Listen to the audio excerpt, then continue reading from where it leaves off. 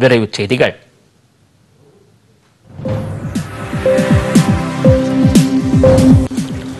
அனைத்து மாவட்ட ஆட்சியர்களுடன் தமிழக தலைமை தேர்தல் அதிகாரி சத்யபிரதா சாஹூ இன்று ஆலோசனையில் ஈடுபட்டார். சென்னை தலைமை செயலகத்திலிருந்து காணொலி வாயிலாக நடைபெற்ற இந்த ஆலோசனையில் இறுதி வாக்காளர் பட்டியல் தொடர்பான முன்னேற்பாடுகள் குறித்து விரிவாக எடுத்துரைக்கப்பட்டது. மேலும் ஆதார் எண்ணை வாக்காளர் அட்டையோடு இணைக்கும் பணிகள் தொடர்பாகவும் ஆலோசனை நடத்தப்பட்டது. கிராமப்புற பெண்களின் முன்னேற்றத்திற்காக தமிழக அரசு பல்வேறு திட்டங்களை செயல்படுத்தி வருகிறது என்று கைத்தறி மற்றும் துணைநூல்துறை அமைச்சர் ஆர் காந்தி தெரிவித்துள்ளார். கிருஷ்ணகிரியில் எண்ணூறு மகளிர் சுய உதவிக் குழுக்களுக்கு ஐம்பத்து ஒன்பது கோடி ரூபாய் கடனுதவி வழங்கும் விழா இன்று நடைபெற்றது. இதில் கலந்து கொண்ட பிறகு பேசிய அமைச்சர் ஆர் காந்தி கடந்த நிதியாண்டில் இருபதாயிரம் கோடி ரூபாய் அளவுக்கு கடன் வழங்கப்பட்டதாகவும் நடப்பாண்டு இருபத்தி ஐந்தாயிரம் கோடி ரூபாய் வழங்க இலக்கு நிர்ணயம் செய்யப்பட்டுள்ளதாகவும் தெரிவித்தார். சென்னை மெட்ரோ ரயில் இரண்டாம் கட்ட பணி முழுவீச்சு நடைபெற்று வருவதாக சென்னை மெட்ரோ ரயில் நிர்வாகம் தெரிவித்துள்ளது.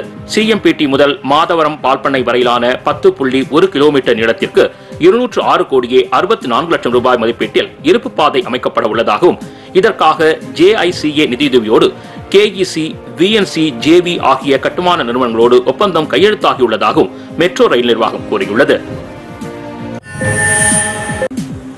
தமிழக அரசு வனத்துறையின் வனப்படையினை இரண்டாயிரத்து இருபத்தி இரண்டு முதல் இரண்டாயிரத்து இருபத்தி ஐந்து வரையிலான மூன்றாண்டு காலத்திற்குள் நவீனப்படுத்தும் திட்டத்தினை அறிவித்து அரசாணை வெளியிடப்பட்டுள்ளது.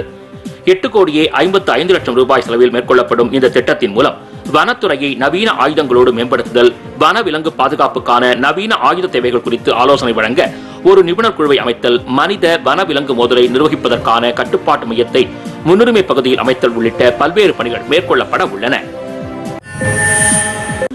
தேனி போடி நாயக்கனூர் இடையே சுமார் பதினைந்து கிலோமீட்டர் தொலைவுக்கு புதிதாக அமைக்கப்பட்டுள்ள அகர ரயில் பாதையில் அதிவேக ரயில் சோதனை ஓட்டம் என்று நடைபெற்றது. போடி நாயக்கனூரில் மாலை மூன்று இருபத்தி ஏழு மணிக்கு புறப்பட்ட ரயில் மூன்று முப்பத்தி ஆறு மணிக்கெல்லாம் தேனியை சென்றடைந்தது. ரயில் சோதனை ஓட்டத்தை நேரில் பார்வையிட்ட ரயில்வே பாதுகாப்பு ஆணையர் அபய்குமார் ராய் ரயில் நிலையத்தில் உள்ள கட்டுப்பாட்டு அறைகள் ரயில் பாதை வளைவுகள் மின்தட குறுக்கீடுகள் ரயில்வே கேட்டுகள் உள்ளிட்டவற்றையும் ஆய்வு செய்தார்.